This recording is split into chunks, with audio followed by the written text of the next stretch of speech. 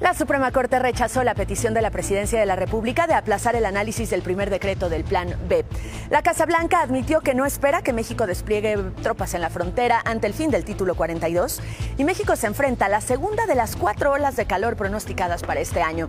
Especialistas advierten que serán cada vez más, más y más, además de extremas, largas. Fue heredero eh, al trono más de 70 años. En unas horas se convertirá, ya le platicábamos, en rey oficialmente en el rey Carlos III. La cobertura en foro a partir de las 3 de la mañana en un ratito del sábado, por supuesto, a las 3 de la mañana del sábado. Todos los detalles de esto y más a lo largo de la mañana. Desde el Centro de Noticias de Televisión Ciudad de México, muy pero muy buenos días. Hoy es viernes, finalmente viernes 5 de mayo. Es así como arrancamos Despierta, un noticiero de N+. Eh, saludarlos, mi querido Enrique. Vean nada más esto, astrónomos de Estados Ya que hablamos de temas relacionados con el Reino Unido, el fútbol no puede fallar. Usted también está convocado a las 3 de la mañana. Sí, aquí estaremos dando el reporte de la Premier. Así está. Con muchísimo gusto, con el Manchester City y el cierre del torneo junto con el Arsenal. Todo lo relacionado con el Reino Unido se va a juntar en la transmisión especial. Yo al que mañana se convierte en rey, Ajá. lo vi jugar polo en el campo Marte, de la- allá por la, ¿qué sería? Como los noventas. Sí, no me extraña, son contemporáneos. No, no, no, no tanto. Yo era contemporáneo de la mamá. Yo era contemporáneo de la reina Isabel.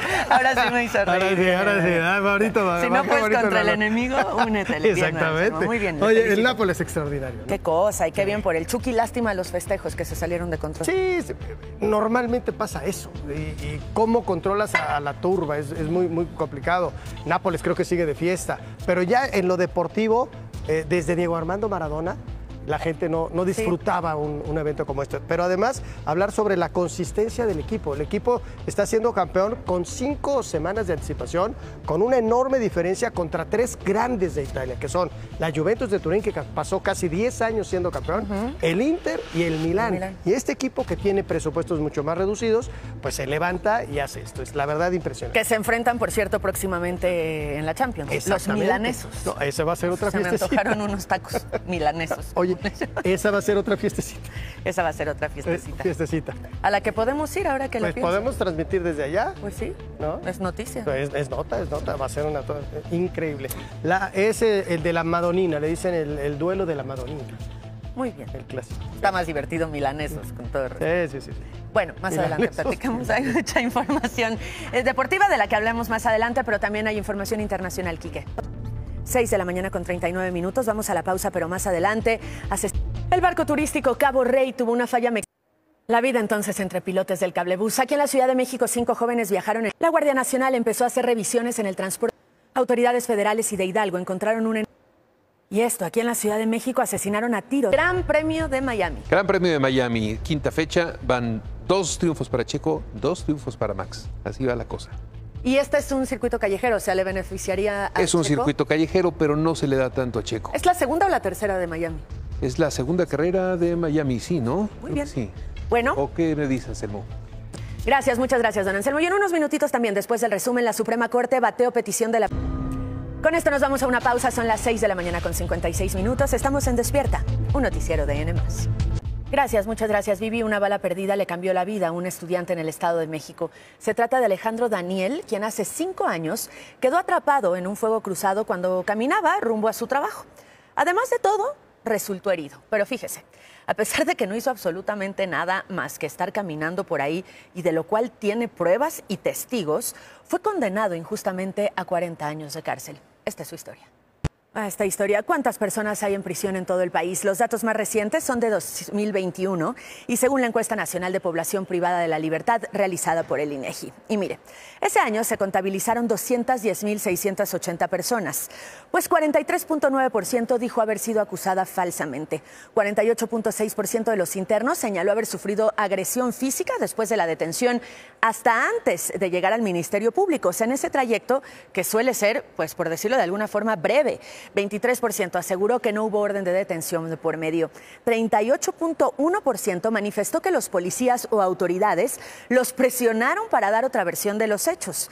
El Estado de México cuenta con la mayor población en prisiones con 34.956 personas, lo que equivale a 15.15% a nivel nacional. Así las cifras de una parte, una parte importante de la población penitenciaria. El Comité contra la Desaparición Forzada de la ONU resolvió el vocero del Consejo de Seguridad de Mientras tanto, hay más de 12.000 migrantes y en Durango la Guardia Nacional rescató a 40 migrantes. ¿De qué se trata específicamente esa primera parte del Plan B que analizará el lunes la Corte? Contiene las reformas a la Ley General de Comunicación Social y a la Ley General de Responsabilidades Administrativas aprobadas en diciembre pasado.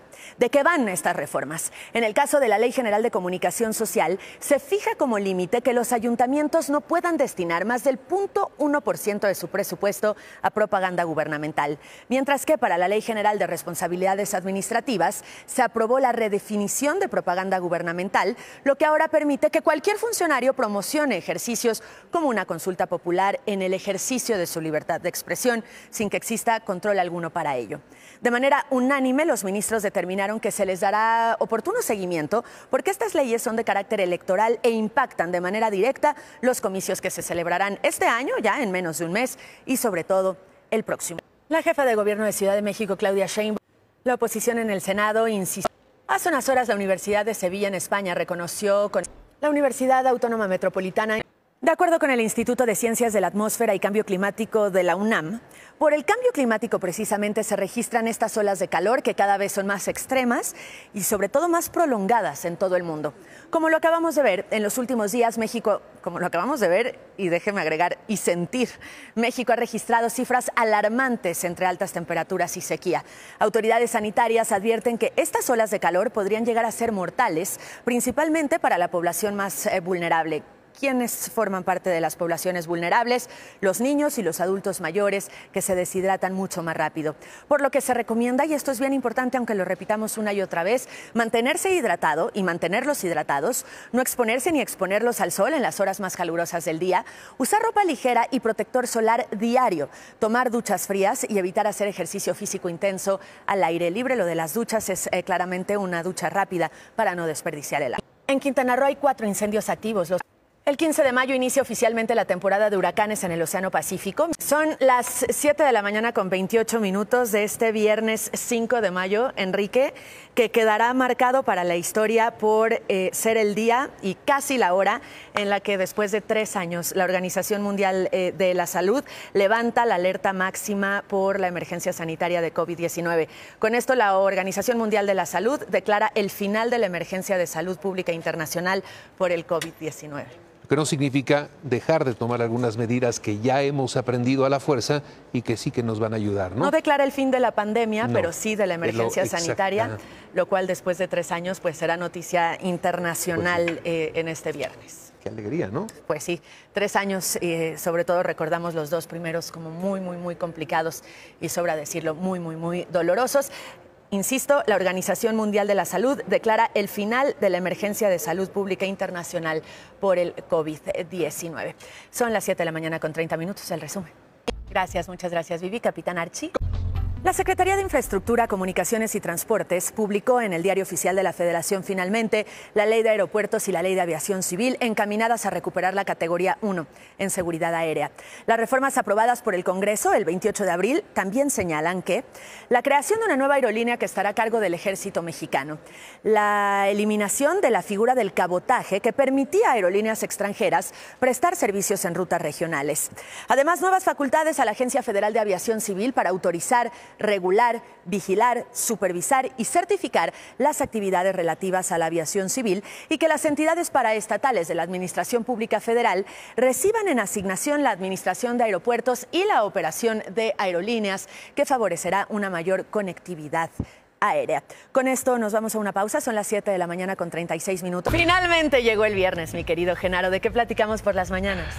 Horacio, y también estamos preparados para la cobertura completa de la coronación de Carlos III y Camila. La tenemos aquí en N.